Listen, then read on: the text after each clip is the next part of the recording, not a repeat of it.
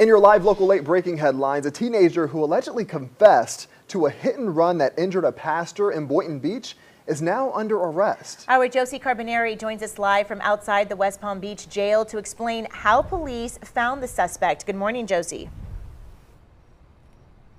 Well, good morning, Nathalie. Good morning, Stephen. So investigators say they found evidence on a cell phone, and that's what ultimately led them to the 18-year-old behind the hit and run. Now, Boynton Beach Police Department, they have been investigating this case for the last three months.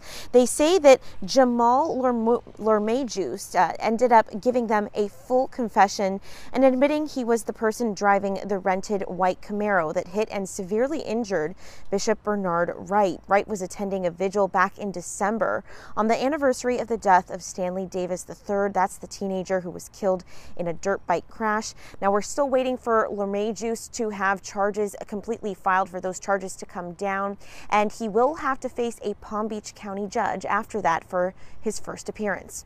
Reporting from West Palm Beach, I'm Josie Carbonari, WPBF 25 News.